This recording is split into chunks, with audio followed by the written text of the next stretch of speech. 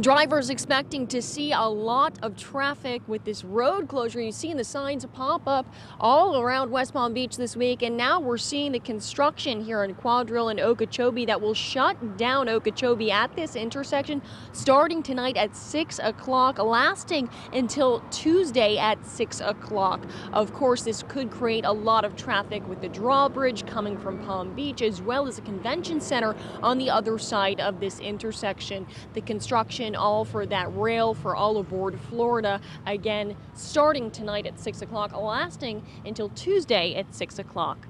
For now, we're here in West Palm Beach. Whitney Burbank, WPBF 25 News.